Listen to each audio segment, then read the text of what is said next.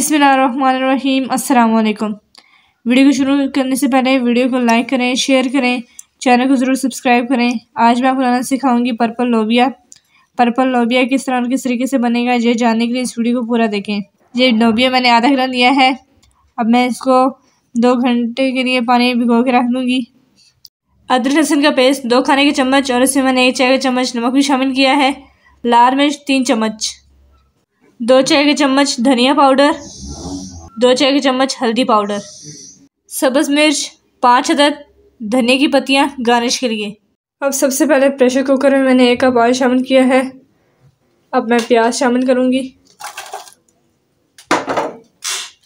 और प्याज को फ्राई करूँगी। प्याज फ्राई हो चुके हैं। अब मैं टमाटर शामिल करूँगी। अब मैं अदरक लहसुन का पेस्ट शामिल करूँगी।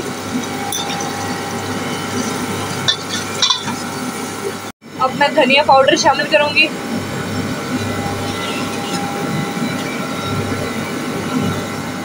अब मैं हल्दी पाउडर शामिल करूँगी। मसाला भून चुका है, अब मैं लोबिया शामिल करूँगी।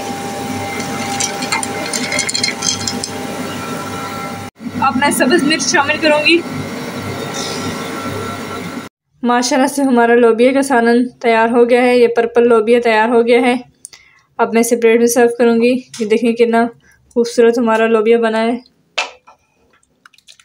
माशाल्लाह से हमारा पर्पल लोबिया तैयार हो गया है। देखें कितना खूबसूरत बना है। लोबिया को आप, पर्पल लोबिया को आप चावल के साथ भी सर्व कर सकते हैं। देखें कितना खूबसूरत बना है। इस रेसिपी को ज़रूर ट्राई करें। अपनी राय का इजहार बॉक्स में ज़रूर दें। वीडियो को ज़रूर लाइक करें। चैनल को ज़रूर सब्सक्राइब करें। मुझे दीजिए इजाज़त खुदा हाफिज़।